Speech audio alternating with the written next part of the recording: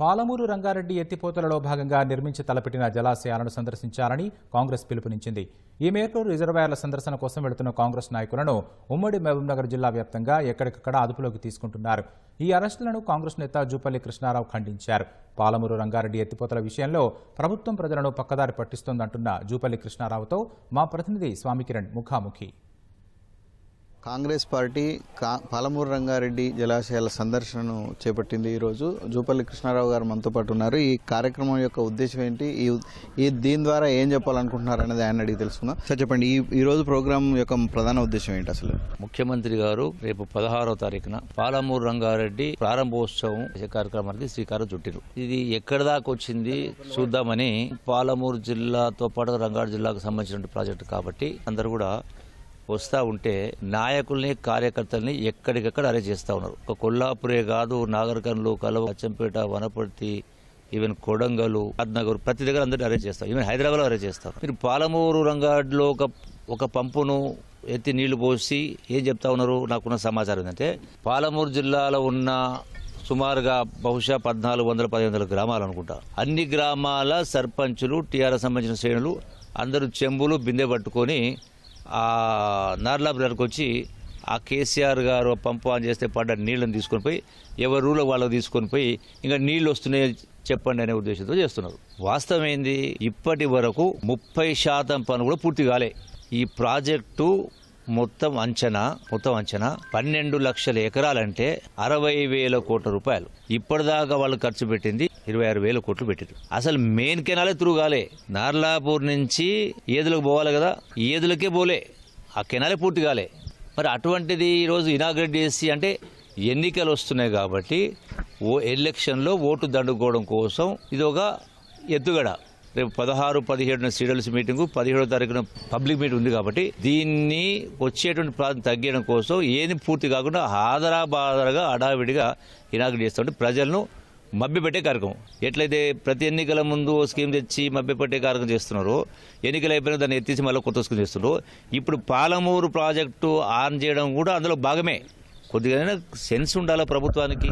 ఒక దశాబ్దం అంటే వీళ్ళు చేసిన పద్ధతి చేస్తే ఒక దశాబ్ద కాలం పడుతుంది పది సంవత్సరాలు పడుతుంది. కలవకుర్తి లిఫ్టిగేషన్ ప్రాజెక్టు నాలుగు లక్షల యాభై వేల ఎకరాలకు మొత్తం మంజూరు. గతంలో కాంగ్రెస్ ప్రభుత్వం రెండు వేల ఐదులో మొదలు పెడితే రెండు వేల పద్నాలుగులో టీఆర్ఎస్ ప్రభుత్వం వచ్చింది. ఇప్పటికీ లక్ష యాభై నలభై వేల ఎకరాలకు నీళ్ళు రాలే. కలవకుర్తి ప్రాజెక్టు కేసీఆర్ గారు ముఖ్యమంత్రి అయిన తర్వాత లక్ష నలభై వేల ఎకరాలు ఇప్పటి నీళ్ళు రాలే. అటువంటిది ఇలా పాలమూరు పెట్టి ఇలా ఏమాత్రం కూడా కాలేదు.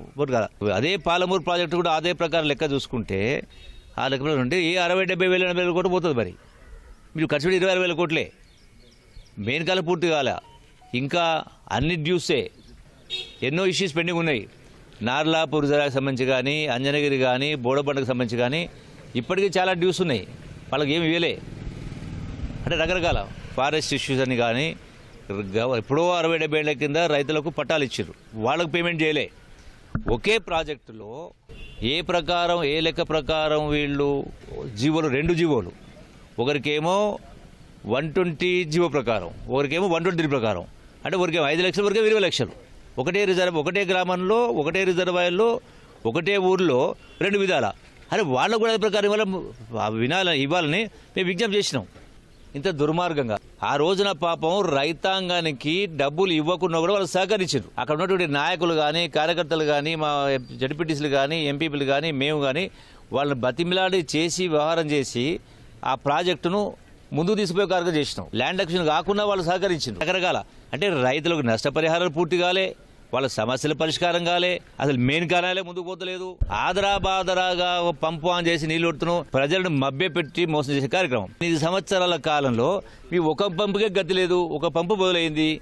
అది పంపింగ్ చేసి నీళ్ళు అడబోస్తుంది మీరు ఏ- కార్యక్రమం చేపట్టారు అంటే ఏం చేయాలనుకున్నారు ఎక్కడెక్కడికి వెళ్తారు ఏం చేస్తారు? నార్లాపు రిజర్వాయర్ చూసుకుంటూ అక్కడి నుంచి Yedula reservoir Vattem reservoir Karivena reservoir Udandapuram reservoir చూసేసి మీ మీడియా అంటే మొత్తం నాయకులు కావచ్చు కార్యకర్తలు కావచ్చు రైతాంగాన్ని తీసుకెళ్ళి చూపించి వాస్తవ చూపించేసి మీ మీడియా ద్వారా ప్రజల్ని ఏ విధంగా మభ్యపెట్టే ప్రయత్నం చేస్తూ ఉన్నారు? స్కీముల పేరు మీద కాలువల పేరు మీద ప్రాజెక్టుల పేరు మీద వాస్తవం ఒకటి ఉంటే దాన్ని చూపించేది ఇంకొకటి.